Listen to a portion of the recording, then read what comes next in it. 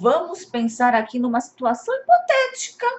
Acho que ninguém passou por isso aqui ou não viu uma amiga passar por isso, não é verdade? Imagina o seguinte: você conheceu um cabra, vocês começaram a sair, relacionamento parecia que estava indo bem. De repente, de uma hora para outra, ele fala que ele não está pronto para um relacionamento, mas que ele gostaria de continuar saindo com você, porque você faz muito bem a ele, não é verdade? E aí, tempo vai passando, passa um mês, dois, três, quatro, cinco, seis, nove, um ano. E nada desse relacionamento sair. Você começa a se sentir incomodada. Você sabe que aquilo não está certo, mas afinal você se sente atraída por ele. Você gosta dele, você se apega, você quer muito que aquilo dê certo, você não consegue dizer não. Você fica presa naquela situação. Você sente como se você passasse por cima de você, como se você fosse um rolo compressor. Mas acho que você nunca para você existiu mesmo, então é melhor você continuar com aquela coisa, com aquela coisa, né? Porque não é nem uma relação, aquela coisa, mesmo te fazendo mal, você prefere ficar com ele assim, nessas circunstâncias, ao invés de não tê-lo. Agora imagine o seguinte, imagina que você já namora. Você já está namorando com essa pessoa há alguns anos, anos. E você constata ao longo da existência desse relacionamento que esse homem não vale um centavo. Ele não honra as calças que ele veste. É o típico mar marca merda sem caráter. Por quê? Porque ele te mete o chifre à torta direita. Aí ele vai, traz, você pega a traição dele, você pega a mensagem no celular, conversinhas paralelas no celular.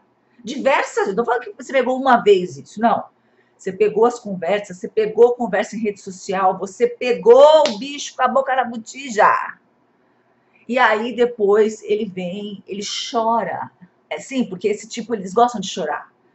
Chora, te pede perdão, diz que você é a mulher da vida dele que ele não sabe viver sem você, que ele foi um babaca completo, mas agora ele entendeu. Só que isso já aconteceu aí pelo menos uma meia de vezes.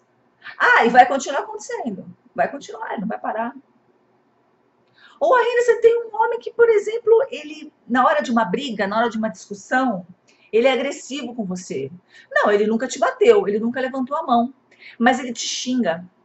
E xinga de nomes pesados, que jamais ele poderia xingar. Aliás, falta de respeito em relacionamento, não existe meio falta de respeito. Ou a pessoa tem respeito ou não tem respeito. E normalmente as, as agressões físicas, elas começam na agressão verbal. Ou seja, ele, ele toma um posicionamento tão agressivo, completamente fora de contexto. Você sabe que aquilo não está certo, que aquilo não está bom. Mas ele também vem todo arrependido depois, fala que falou aqui da boca para fora porque ele ficou nervoso, porque você deixou ele nervoso, entendeu? Não é que ele tem problema mental. Não, você é a culpada. Você é a culpada.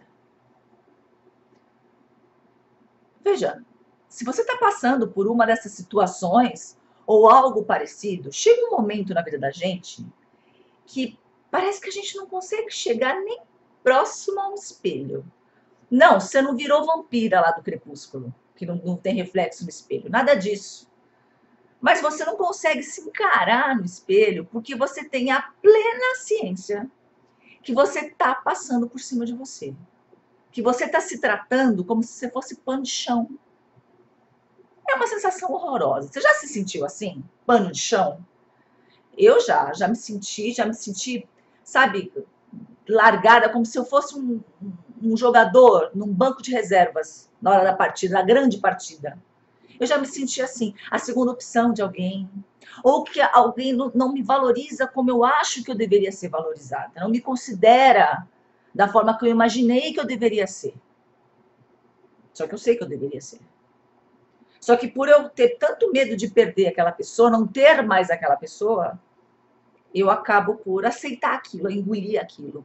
Então eu me empurro para dentro. Só que chega uma hora que a gente não consegue se encarar mais. Será que esse não é o teu momento. Gente, todas nós precisamos saber o momento certo de pular fora de um relacionamento. E quando que é esse momento? Na hora que dói. na hora que tá doendo, mas não é uma dor aguda. Ah, deu agora a dor, que a gente teve uma briga. Não, não é isso. É aquela dor crônica. Como se fosse uma doença crônica. Uma dor que não passa. Você está sempre sofrendo, você está sempre sentindo que se você não calar a tua boca, se você não baixar a cabeça, se você não engolir tudo aquilo, aquele sapo que está engasgado aqui, se você não fizer isso, aquele relacionamento vai descambar. Isso é vida? Eu fico me perguntando. Isso é vida? Ter uma, uma, uma, uma situação afetiva tão miserável assim? Então eu tenho que me anular como pessoa, eu tenho que acabar com a minha raça, eu tenho que ficar sem conseguir me olhar no espelho, sem me sentir uma bosta, para manter uma pessoa ao lado. Ah, gente, sinto muito. Cadê minha bolsa? Que eu vou embora agora. Dá bolsa. Eu vou embora. Vou passar o batom e vou embora. Eu, eu prefiro me sentir bem. Eu prefiro me sentir em paz. Eu prefiro dar chance para a vida me trazer uma pessoa que tem a ver comigo. Eu, eu, eu prefiro esperar acreditar que a vida vai me trazer essa pessoa. Porque se a gente for olhar lá atrás, nossa época de infância, ninguém aqui teve um sonho de infância de namorar um estrupício que nem esse que você está namorando. Eu tenho certeza que você não imaginou isso para você. Não é isso que você quer para tua vida. Mas aí quando a gente cresce, parece que a gente fica tudo meio bundona, meio trouxona, pamonhona.